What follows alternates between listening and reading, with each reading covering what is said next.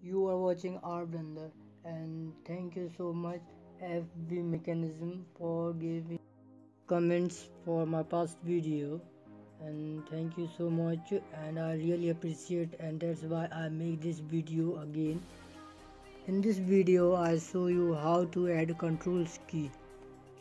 I clear all these keys and make it again in this way you can see and watch how I insert a keyboard and and how I apply it.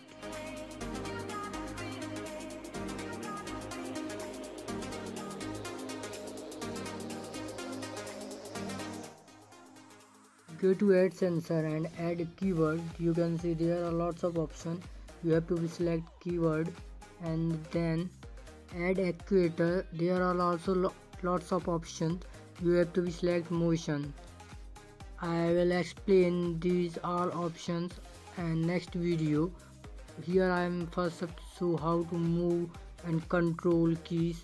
You have to be notice that I have to insert only 4 keys because controls are forward, backward, right turn, left turn and after end of this video I'll show you how to add camera control.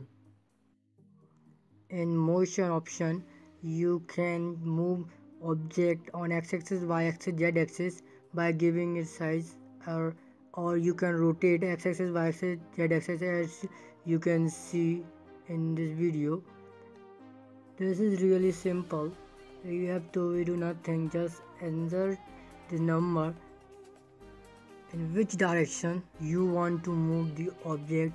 You have to select this axis and measure and add number. I add here 80 0.80 and uh, for forward 0.8 negative 0.8 for backward rotating and among z axis. Similarly i add three more add sensor which are keyboard and three add actuators which are motion.